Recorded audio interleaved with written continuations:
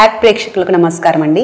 నేను doctor Shweta Gulabi consultant obstetrician gynaecologist and fertility specialist at Siddhartha nursing home global fertility innovations Brindavanam Nellore. ఇవాళ మనం high risk pregnancy గురించి discuss చేసుకుందామండి.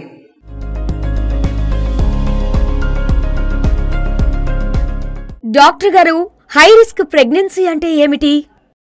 High risk pregnancy. అసలు ఈ high risk pregnancy అంటే ఏంటి అనేది ముందుగా తెలుసుకుందామండి. ఎప్పుడైతే ప్రెగ్నెన్సీలో ఎయిదర్ మదర్ ఆర్ బేబీ అంటే తల్లికి కానీ బిడ్డకి కానీ కాంప్లికేషన్స్ వచ్చే అవకాశాలు ఉన్నాయి అంటే ఆ ప్రెగ్నెన్సీని మనం హై రిస్క్ ప్రెగ్నెన్సీ అంటామండి.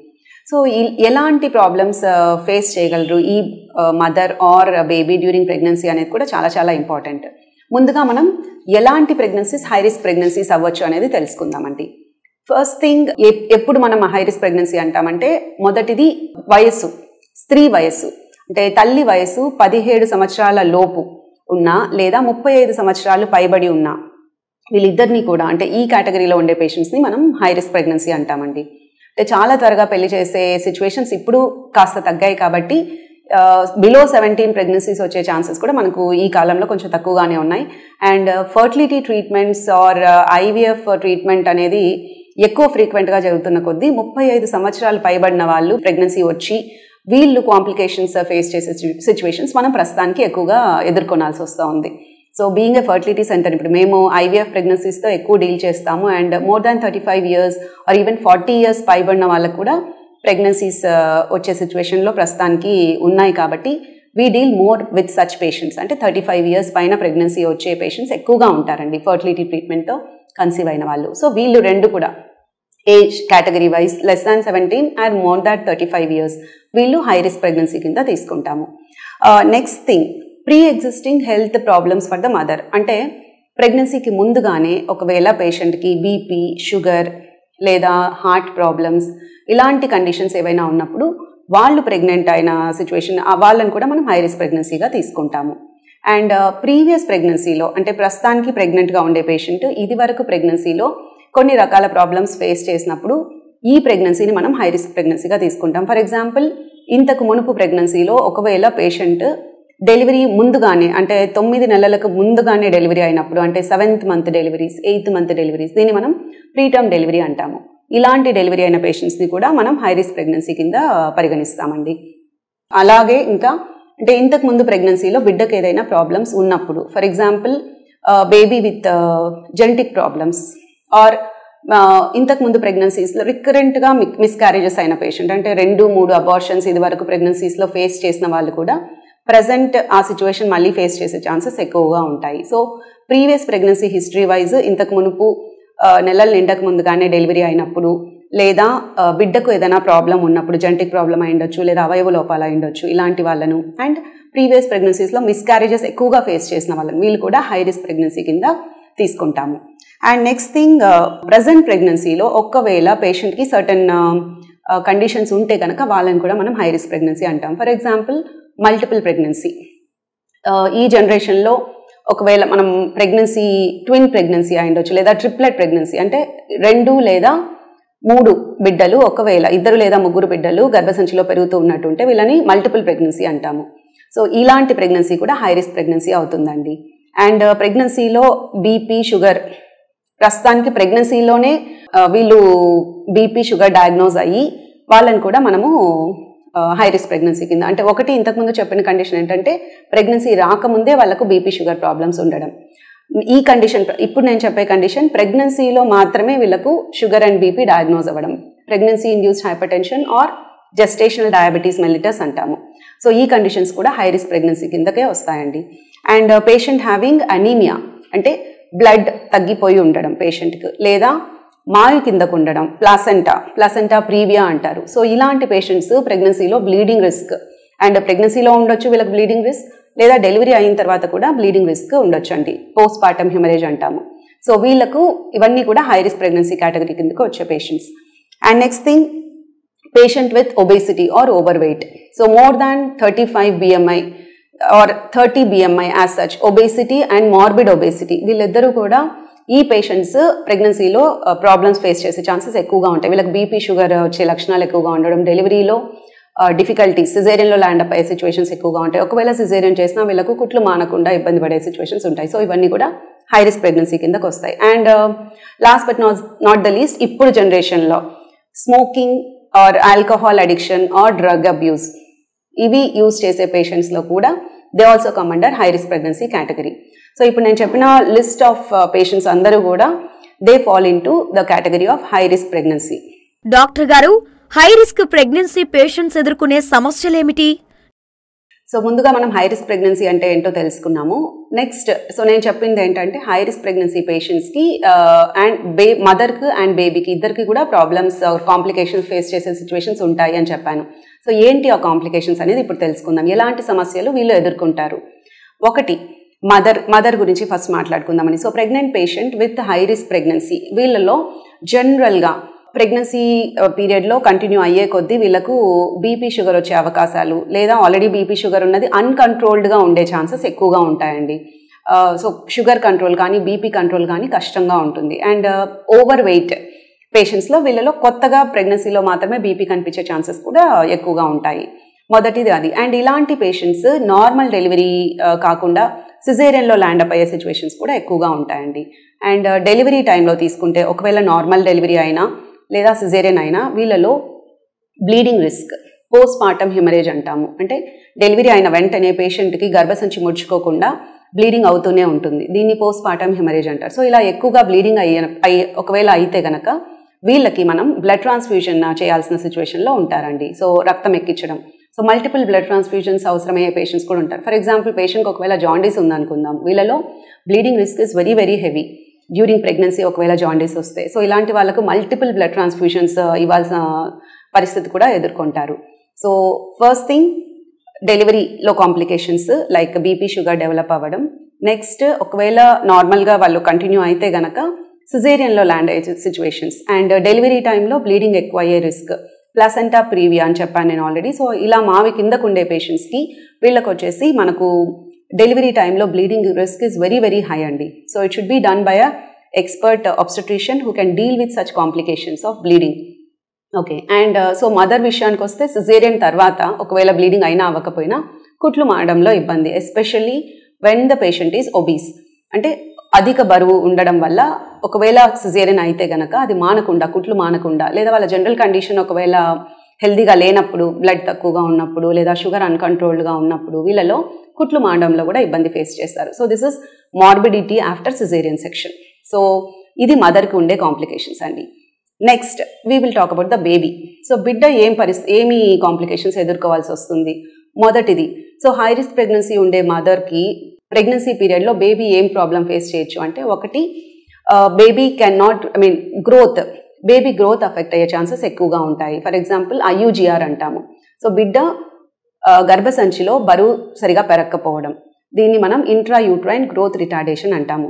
సో వీటిని కొంతవరకు మనం కంట్రోల్ చేయొచ్చు. అంటే intra uterine growth retardation or బరువు పెరగకపోవడాన్ని కొన్ని రకాల supplements protein powders or solutions ఇవ్వచ్చు కొన్నిసార్లు. లేదా ఐవి ఇన్ఫ్యూజన్స్ ఇవ్వచ్చు. వీటి వల్ల కొంతవరకు బిడ్డ బరువు పెరిగే ఛాన్సెస్ ఉంటాయి. కొన్ని కొన్నిసార్లు ఇది మన కంట్రోల్లో లేకుండా ఎన్ని చేసినా కూడా బిడ్డ బరువు సరిగా పెరగకపోతే కనుక అప్పటికి మనం డెలివరీ చేయాల్సిన సిచ్యువేషన్లో కూడా వీళ్ళు ఉండొచ్చు. ఓకే సో ఒకటి ఐయుజిఆర్ ఆర్ బిడ్డ సరిగా బరువు పెరగకపోవడం first thing next in case pregnancy sudden complications ఏదైనా వస్తే కనుక బిడ్డను ఇమ్మీడియట్గా so uncontrolled hypertension or BP సివియర్గా ఉండడం కంట్రోల్లో ఉండకపోవడం uh, లేదా బ్లీడింగ్ సడన్గా స్టార్ట్ అయిపోయి హెవీ అయిపోవడం ఇలాంటి సిచ్యువేషన్స్ ఒకవేళ పేషెంట్ ఫేస్ చేస్తే కనుక అప్పటికప్పుడు నెలలు నిండకపోయినా కూడా డెలివరీ చేయాల్సిన సిచ్యువేషన్లో వీరు వీళ్ళు ఉండొచ్చు. లేదా ముందుగానే డెలివరీ పెయిన్ స్టార్ట్ అయితే కనుక బేబీ ముందుగానే నెలలు నిండకుండా పుట్టొచ్చు. సో వీళ్ళని ప్రీటర్మ్ డెలివరీ అంటారు. సో బేబీ ఇద్దరు బరువు తక్కువగా ఉండడం లేదా సరిగా ఎదగకపోవడం నెక్స్ట్ ప్రీటర్మ్ డెలివరీ. సో నెలలు నిండకుండా డెలివరీ అవ్వడం. అండ్ వన్స్ బేబీ నెలలు నిండకుండా ఒకవేళ డెలివరీ అయిపోతే కనుక బేబీకి ప్రీటర్మ్ డెలివరీ వల్ల వచ్చే complications is the next list of problems అండి. ఫర్ ఎగ్జాంపుల్ నెలలు నిండకపోతే బిడ్డకు ఊపిరి తీసుకోవడంలో కష్టం అవ్వచ్చు. సో వీళ్ళకు బేబీకి ఎన్ఐసీయూలో పెట్టి అబ్జర్వేషన్లో ఉంచి ఊపిరి తీసుకునేదాకా ఆక్సిజన్ సపోర్ట్ బాగా తీసుకునేదాకా ఆక్సిజన్ సపోర్ట్ ఇవ్వాల్సి రావడం. వెరీ వెరీ రేర్లీ చాలా త్వరగా డెలివరీ అయిపోతే అంటే ఎయిత్ సెవెంత్ మంత్లోనే డెలివరీ అయిపోతే కనుక వెంటిలేటర్ వరకు బిడ్డకు అవసరం పడవచ్చు సో అది ఒకటి. నెక్స్ట్ బిడ్డ జాండిస్ ఫేస్ చేయాల్సి రావచ్చు. నియోనేటల్ జాండిస్ అంటాము. సో కామర్లు. పుట్టిన తర్వాత బేబీకి ఒక రోజు గడిచిన తర్వాత లేదా మూడు నాలుగు రోజుల తర్వాత కామెర్లు వచ్చే అవకాశం కూడా ఎక్కువగా ఉంటాయి. ఇలా పుట్ నెలలు నిండకుండా పుట్టిన బేబీస్కి సో ఇవి మేజర్గా బేబీకి ఉండే రిస్క్స్ అండి. డాక్టర్ గారు హై రిస్క్ ప్రెగ్నెన్సీ ఉండేవారు ఎలాంటి జాగ్రత్తలు తీసుకోవాలి?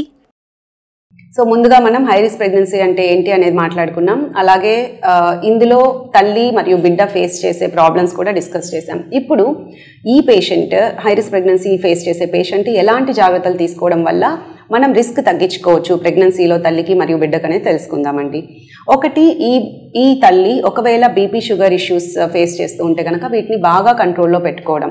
అంటే డాక్టర్ సజెస్ట్ చేసిన మెడిసిన్ సరిగా వాడడం. అండ్ ప్రెగ్నెన్సీకి ముందుగానే ముందుగానే బీపీ షుగర్ ఉండేవాళ్ళు అబ్సల్యూట్ కంట్రోల్ సో డాక్టర్ని కన్సల్ట్ చేసి ఇవన్నీ నార్మల్గా ఉన్నాయి అని కన్ఫర్మ్ చేసిన తర్వాత మాత్రమే ప్రెగ్నెన్సీకి ప్లాన్ చేయడం వల్ల మనం బిడ్డకు మరియు తల్లికి రిస్క్ చాలా చాలా తగ్గించవచ్చు అండి first thing is this one so pre pregnancy planning అంటాం లేదా ప్రీ కన్సెప్షనల్ కౌన్సిలింగ్ సో ఎవరైనా కూడా uh, హార్ట్ ప్రాబ్లం కానీ లేదా ఇలా బీపీ షుగర్ ఇష్యూస్ ముందుగానే ఉన్న వాళ్ళు డాక్టర్ని కన్సల్ట్ చేసి uh, ప్రెగ్నెన్సీకి నేను వెళ్ళొచ్చా?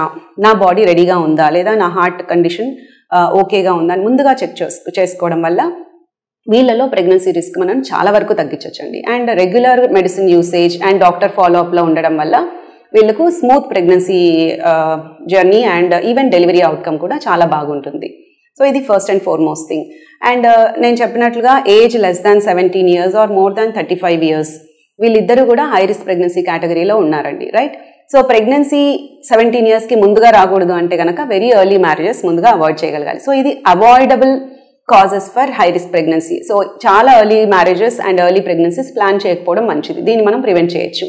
And next thing thirty five years పైన వచ్చే ప్రెగ్నెన్సీస్ సో ఎవరైతే ఇన్ఫర్టిలిటీ ఇష్యూస్ ఫేస్ చేస్తున్నారో వాళ్ళు వీలైనంత త్వరగా ఫర్టిలిటీ డాక్టర్ని కన్సల్ట్ చేసి వాళ్ళ కండిషన్కి ట్రీట్మెంట్ తీసుకోగలిగితే కనుక late pregnancy thirty five years పైన లేదా నియరింగ్ ఫార్టీ ఇయర్స్ ఏజ్ ఉన్నప్పుడు ప్రెగ్నెన్సీ వచ్చే ఛాన్సెస్ uh, మనం ప్రివెంట్ చేయొచ్చు. సో థర్టీ ఇయర్స్ పైన ఫర్టిలిటీ ఇష్యూస్ ఫేస్ చేసే వాళ్ళు they have to fasten up their pregnancy plans and treatment దానివల్ల మనం రిస్క్ చాలా వరకు తగ్గించవచ్చు అండ్ ప్రీవియస్ ప్రెగ్నెన్సీ ఒకవేళ ప్రీటర్మ్ డెలివరీ లేదా నెలలు నిండక ముందే డెలివరీ అయి ఉంటే గనక బిడ్డ ఇప్పుడు ప్రజెంట్ ప్రెగ్నెన్సీలో మనం దీన్ని చాలా వరకు ప్రివెంట్ చేయొచ్చండి. ఎలా అంటే ఒకటి గర్భసంచి ద్వారానికి కుట్లు వేయడం. మూడు నెలలు పూర్తయిన తర్వాత బేబీకి స్కాన్ చూసి బేబీ అంతా నార్మల్ అవయవాలు నార్మల్ ఉన్నాయి ఎన్టీ స్కాన్ అంటాం దీన్ని. సో దీనిలో నార్మల్ అని వచ్చిన తర్వాత గర్భసంచి ద్వారానికి కుట్లు వేయడం. దీన్ని సర్వైకల్ ఎన్సర్క్లాజ్ అంటాము. సో ఇది వేయడం వల్ల చాలా వరకు ఆరో నెల లేదా ఏడో నెలలో డెలివరీ అయ్యే అవకాశాలు తగ్గించవచ్చండి ఇది మొదటిది. And majority of the times ఉమ్మనీరు త్వరగా పోవడానికి లేదా పెయిన్స్ త్వరగా రావడానికి రీజన్ వచ్చేసి ఇన్ఫెక్షన్ సో వీళ్ళల్లో యూరిన్ ఇన్ఫెక్షన్స్ కానీ లేదా తెల్లమైల ఇన్ఫెక్షన్స్ ఏమైనా ఉన్నాయి అని మనకు డౌట్ ఉంటే కనుక వీటికి టెస్ట్ చేసుకొని అండ్ ఇమ్మీడియట్గా వీటిని ట్రీట్ చేయడం వల్ల ప్రజెంట్ ప్రెగ్నెన్సీలో మనం ప్రీటర్మ్ డెలివరీ లేదా ఉమ్మనీరు త్వరగా పోవడం అనే కాంప్లికేషన్ నుంచి కాపాడుకోవచ్చు. సో ఇది ఒకటి. సో ఇలాంటి జాగ్రత్తలు తీసుకోవడం వల్ల కాంప్లికేషన్స్ని మనం తగ్గించవచ్చు. అండ్ uh, ఒకవేళ మావి కిందకు ఉందనుకుందాం ప్లాసెంటా ప్రీవియా అంటాం. సో ఇలాంటి పేషెంట్స్కి ఎలెక్టివ్ సిజేరియన్ డెలివరీ అంటే బ్లీడింగ్ అయిన తర్వాత రియాక్ట్ అయ్యి డెలివరీ చేయడం కాకుండా planned and elective caesarean delivery అన్ని రెడీగా పెట్టుకొని అంటే బ్లడ్ రెడీ చేసుకొని ప్రాపర్గా బ్లీడింగ్ రిస్క్ ఒకవేళ ఉంటే కనుక దాన్ని తగ్గించుకోవడానికి అన్ని జాగ్రత్తలు తీసుకొని డెలివరీ చేయడం వల్ల వీళ్ళలో కూడా మనం కాంప్లికేషన్స్ ప్రివెంట్ చేయొచ్చు. డాక్టర్ గారు హై రిస్క్ ప్రెగ్నెన్సీ పేషెంట్స్కి ప్రెగ్నెన్సీ చెకప్ మరియు డెలివరీ ఎటువంటి హాస్పిటల్లో జరగాలి? So very very important thing వచ్చేసేసి ఇలా హై రిస్క్ ప్రెగ్నెన్సీ ఉండేవాళ్ళు ఎక్కడ చెకప్ చేయించుకోవాలి అండ్ ఎలాంటి ప్లేస్లో డెలివరీ అవ్వాలి అనేది చాలా చాలా ఇంపార్టెంట్ అండి. ఎందుకు అంటే వీళ్ళలో కాంప్లికేషన్స్ నేను ఆల్రెడీ చెప్పినట్టుగా తల్లికి మరియు బిడ్డకు సర్టెన్ కాంప్లికేషన్స్ ఉంటాయి. సో డెలివరీ టైంలో వచ్చే కాంప్లికేషన్స్ లేదా ప్రెగ్నెన్సీలో వచ్చే కాంప్లికేషన్స్ని మనం ఎఫెక్టివ్గా ప్రివెంట్ చేయగలగాలి లేదా ట్రీట్ చేయాలి అంటే ఒక టర్షరీ కేర్స్ హాస్పిటల్ అంటాము. అంటే not a primary health centre or just routine విలేజ్లో ఉండే ప్రైమరీ హెల్త్ సెంటర్స్ లాంటి ప్లేసెస్లో కాకుండా immediately if needed twenty four by seven అంటే ఇరవై నాలుగు గంటలు డెలివరీకి అవైలబిలిటీస్ ఉన్నాయి ఫెసిలిటీస్ ఉన్నాయి అనే లాంటి ప్లేస్లోనే వీళ్ళు ప్రెగ్నెన్సీ చెకప్స్ మరియు డెలివరీ అనేది ప్లాన్ చేయాల్సి ఉంటుందండి. And one more important thing is నేను చెప్పిన కండిషన్స్లో కొన్ని హార్ట్ ప్రాబ్లమ్స్ ఉండే పేషెంట్స్ అయి ఉండొచ్చు లేదా బీపీ పేషెంట్స్ అయి ఉండొచ్చు లేదా షుగర్ పేషెంట్స్ అయి ఉండొచ్చు. Uh, ఇలాంటి పేషెంట్స్కి జస్ట్ ఆబ్స్టట్రిషన్ అంటే ప్రెగ్నెన్సీ మాత్రమే ట్రీట్ చేసే డాక్టర్ కాకుండా other specialities doctors for example BP ఉండే పేషెంట్స్ ఫిజిషియన్ని కన్సల్ట్ చేయాల్సి ఉంటుంది. అండ్ షుగర్ ఇష్యూస్ ఫేస్ చేసే పేషెంట్ ఎండోక్రైనాలజిస్ట్ ఆర్ డయాబెటాలజిస్ట్ని కన్సల్ట్ చేయాల్సి ఉంటుంది. అండ్ హార్ట్ ప్రాబ్లం ఉండే పేషెంట్స్ వచ్చేసి they should be in follow up with a cardiologist or heart doctor so ఇలాంటి multidisciplinary care this is called multidisciplinary care ఇలాంటి facilities available ఉండే ఒక ప్లేస్లో వీళ్ళ ప్రెగ్నెన్సీ చెకప్స్ అండ్ డెలివరీ అనేది డెఫినెట్గా ప్లాన్ చేయాల్సి ఉంటుంది. So very very important thing is multidisciplinary team ఫాలోఅప్లో ఉండాలి. And tertiary care centre with all facilities for caesarean section మనకు అలాంటి ప్లేస్లో డెలివరీ ప్లాన్ చేయాలి. కొంతమంది పేషెంట్స్ మా దగ్గరకు వస్తూ ఉంటారు. లైక్ బ్లడ్ um, uh, తక్కువగా ఉంది అని చెప్పి నైన్త్ మంత్లో వస్తూ ఉంటారు. అండ్ వెరీ అప్రిషియేటింగ్ థింగ్ ఏంటంటే దో పేషెంట్స్ ప్రైమరీ హెల్త్ సెంటర్లో వాళ్ళు ఫాలోఅప్లో ఉన్నా కూడా ప్రెగ్నెన్సీ పీరియడ్ అంతా కూడా వన్స్ ఇలాంటి ప్రాబ్లమ్స్ ఏదైనా ఐడెంటిఫై చేసినప్పుడు వాళ్ళు మీరు డెలివరీకి నెక్స్ట్ లెవెల్ హాస్పిటల్కి వెళ్ళడం ఇంపార్టెంట్ అని చెప్పి వాళ్ళని ఐడెంటిఫై చేసి అక్కడ ఉండే doctors or consultants refer out చేస్తున్నారు. This is a appreciating thing అండి. దీనివల్ల మనం మదర్కి రిస్క్ అండ్ బేబీకి రిస్క్ని చాలా చాలా వరకు అవాయిడ్ చేయగలం. సో టై timely referral so extreme preterm delivery ఉన్నప్పుడు ఫర్ ఎగ్జాంపుల్ పేషెంట్ సెవెంత్ మంత్లో ఎండింగ్ లోపలే డెలివరీ అయిపోయింది అనుకుందాం. సో ఇలాంటి బేబీ వచ్చేసి ఊపిరి తీసుకోవడానికి ఇబ్బందులు ఫేస్ చేసే ఛాన్సెస్ ఎక్కువగా ఉంటాయి. ఇలాంటి babies excellent neonatal care availability ఉండే ప్లేస్లో డెలివరీ చేయడం చాలా ఇంపార్టెంట్ పుట్టిన తర్వాత బేబీని షిఫ్ట్ చేయడం కంటే కూడా availability of the delivery in that place so అక్కడ డెలివరీ అయ్యి ఏ ప్లేస్లో అయితే best neonatal care or baby care availability ఉందో అక్కడికి పేషెంట్ని ఇమ్మీడియట్గా రెఫర్ అవుట్ చేయడం వల్ల చాలా వరకు ఈ కాంప్లికేషన్స్ కూడా తగ్గించగలుగుతాము. సో ఇవి చాలా ఇంపార్టెంట్ ఈ పేషెంట్స్లో బేబీ రిస్క్ మదర్ రిస్క్ని తగ్గించాలి అంటే ఇలాంటి place twenty four by seven delivery facilities available ఉన్న ప్లేస్లో పేషెంట్ డెలివరీ అవ్వాలి. So with all the help of our anaesthetist and paediatrician we are in a position to deliver the baby any time throughout the day అంటే morning early morning నుంచి midnight దాకా ఎప్పుడైనా కూడా uh, మా anaesthetist and paediatrician అవైలబుల్గా ఉంటారండి delivery చేయడానికి. And thanks to our team of nurses and doctors who helpers in dealing with such pregnancies doctor గారు హై రిస్క్ ప్రెగ్నెన్సీని మనం నివారించగలమా? సో హై రిస్క్ ప్రెగ్నెన్సీని మనం నివారించగలమా అని అడిగితే మేబీ అన్నిసార్లు ఇది మన చేతుల్లో ఉండదు అన్నిసార్లు పాసిబుల్ కాదు అనే చెప్తానండి. కానీ కొన్ని కండిషన్స్ డెఫినెట్గా మనం మోడిఫై చేసుకోవడం వల్ల మనం హై రిస్క్ ప్రెగ్నెన్సీ కేటగిరీలోకి వెళ్ళే అవకాశాలను చాలా వరకు తగ్గించుకోవచ్చు. ఫర్ ఎగ్జాంపుల్ నేను ముందుగానే చెప్పాను అంటే తల్లి వయస్సు పదిహేడు సంవత్సరాల లోపు లేదా ముప్పై ఐదు సంవత్సరాల పైన ఉన్నప్పుడు వీళ్ళని హై రిస్క్ ప్రెగ్నెన్సీ కేటగిరీలో వస్తారు వీళ్ళు అని చెప్పి చెప్పాను. సో ఎర్లీ మ్యారేజ్ని అవాయిడ్ చేయడం వల్ల and early pregnancy suppose they are getting married at around sixteen years వాళ్ళ ప్రెగ్నెన్సీని at least seventeen years complete అయిన తర్వాత ప్లాన్ చేయడం వల్ల వీళ్ళు హై రిస్క్ ప్రెగ్నెన్సీ కేటగిరీలో ఉండరు. అండ్ ఫర్టిలిటీ ఇష్యూస్ ఫేస్ చేస్తూ ముప్పై ఐదు సంవత్సరాల పైన ప్రెగ్నెన్సీ అయ్యే పేషెంట్స్ కూడా ఎర్లియర్గా ఫర్టిలిటీ ట్రీట్మెంట్ తీసుకో తీసుకోవడం వలన వీళ్ళు థర్టీ ఫైవ్ ఇయర్స్ పైన ప్రెగ్నెన్సీ వచ్చే ఛాన్సెస్ని ప్రివెంట్ చేసుకోవచ్చు. ఇప్పుడు ఉండే present trend late marriage and late pregnancy so ఇది మారితే గనక మనం హై రిస్క్ ప్రెగ్నెన్సీ కేటగిరీలోకి వెళ్ళకుండా చూసుకోవచ్చు అండి next thing lifestyle modification ఇది కూడా చాలా చాలా ఇంపార్టెంట్ అంటే smoking or alcohol usage or drug abuse pregnancy పీరియడ్కి ముందుగా ఒకవేళ వీళ్ళకి అలవాటు ఉంటే గనక వీటిని కంప్లీట్గా అవాయిడ్ చేయడం వల్ల ప్రెగ్నెన్సీ ప్రెగ్నెన్సీ పీరియడ్లో వీళ్ళు హెల్త్ ఇష్యూస్ ఫేస్ చేసే ఛాన్సెస్ చాలా చాలా తక్కువగా ఉంటాయండి. సో వీటిని అవాయిడ్ చేయడం అనేది ఇంపార్టెంట్ దీనివల్ల హై రిస్క్ ప్రెగ్నెన్సీ పాసిబిలిటీ ఉండదు. Next patients who are having pre existing health problems అంటే BP sugar or heart problem or blood తక్కువగా ఉండి ప్రెగ్నెన్సీలో ఎంటర్ uh, అయ్యే పేషెంట్స్ వీళ్ళందరూ కూడా వీటిని ఆప్టిమైజేషన్ ఆర్ మోడరేషన్ అంటాం అంటే వీటిని అడిక్వేట్గా కంట్రోల్ చేసుకోవడం వల్ల. So for example BP patient అయితే కనుక ఫిజిషియన్ని కన్సల్ట్ చేసి వాళ్ళ బీపీ మెడిసిన్ uh, ఏదైతే ప్రెగ్నెన్సీ సేఫ్ అని చెప్తారో డాక్టర్ ఆ మెడిసిన్ వాడి ప్రెగ్నెన్సీకి వెళ్ళాల్సి ఉంటుంది. నెక్స్ట్ షుగర్ పేషెంట్స్ అయితే కనుక వీళ్ళది గ్లైకోసిలేటెడ్ హిమోగ్లోబిన్ ఆర్ హెచ్బిఏవన్సీ టెస్ట్ అంటాం. సో ఈ టెస్ట్ చేసి ఇది నార్మల్ లెవెల్లో ఉంది. అంటే at least less than six point five ఉంది. అంటే వీళ్ళు సేఫ్గా ప్రెగ్నెంట్ uh, అవ్వచ్చు ప్రెగ్నెన్సీ ప్లాన్స్ చేసుకోవచ్చు అనేది uh, ఇండికేషన్ అండి. సో వీళ్ళు వాళ్ళ కన్సల్టెంట్ని ఆర్ ఎండోక్రైనాలజిస్ట్ ఆర్ డయాబెటాలజిస్ట్ని కన్సల్ట్ అయ్యి ఎంతవరకు మేము ప్రెగ్నెన్సీకి ఇమీడియట్గా వెళ్ళొచ్చు అనే ఛాన్సెస్ డిస్కస్ చేసి ఆ తర్వాత వెళ్తే కనుక వీళ్ళలో షుగర్ కంట్రోల్ అనేది చాలా ఈజీగా ఉంటుంది. అండ్ uh, కొన్ని రకాల మెడిసిన్స్ కూడా వీళ్ళు ప్రెగ్నెన్సీలో వాడకూడదు. సో అలాంటి అన్సేఫ్ మెడిసిన్ ఏదైనా వాడుతూ ఉంటే కనుక డాక్టర్ని కన్సల్ట్ చేసి uh, వాటిని సేఫ్ మెడికేషన్కి మార్పిచ్చిన తర్వాతే వీళ్ళు ప్రెగ్నెన్సీ ప్లాన్ చేయాల్సి ఉంటుంది. అన్కంట్రోల్ షుగర్స్ ఉంటే ప్రెగ్నెన్సీ అవాయిడ్ చేయాల్సి ఉంటుందండి.